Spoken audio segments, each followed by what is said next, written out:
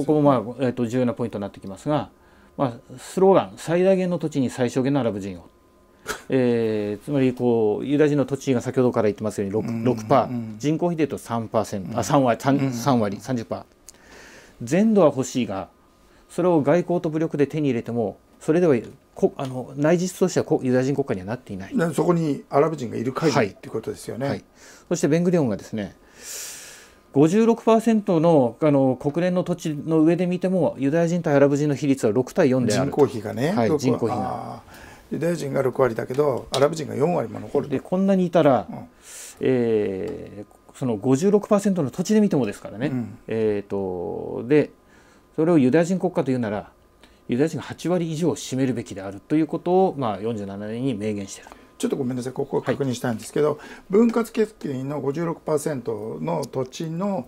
中においてユダヤ人とアラブ人の人口比が60対40ってことですか、はい、パレスチナ全体の中の七三になりますよね。七三なんですね、はい。はい、やっぱりあのその56%奪ってもその中にアラブ人が4割住んでるよっていうことなんですね、なるほど。でしかも全体で七三ですし、うん、えしかもこの56%以上じゃなく80%のと先ほど土地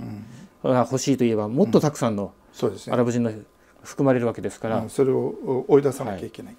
とじゃあそのこの会ですね、うん、つまり最大限の土地を得ながら、うん、ユダヤ人の比率は80%以上にしたい、うん、とどうすればいいかって言えばもうまず80%得るには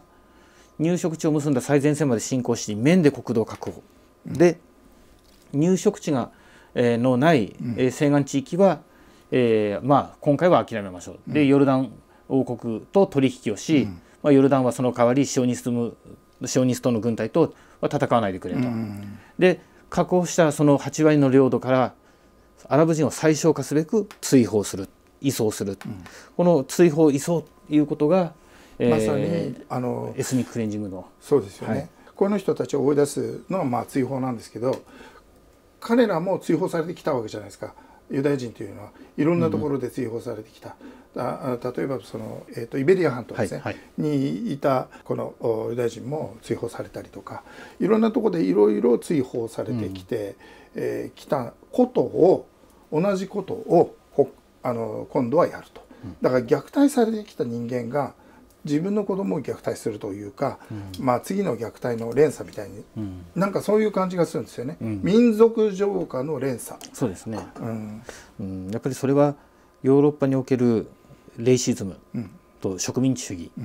を実行してるっていうのはあると思いますね。実力を行使してでも、まあその土地を取るとか、うん、えー、自分たちにとって不都合な、えー、民族集団人口集団はえー、武力で排斥してもいいという発想というのはやっぱりヨーロッパにあるわけで、うん、そしてそのヨーロッパでそういうものを目の当たりにしまたその現場をこう、まあそのまあ、自分たちもその価値観を内面化したり、えー、しているのでこれやっていることは、まあ、ヨーロッパの植民地主義であり、はい、彼らの持っているレイシズムっていうのはもう要するに人を見下す自分たち以外は人じゃないとみなすようなものの考え方、うん、あだったりするわけですね。はい Thank you.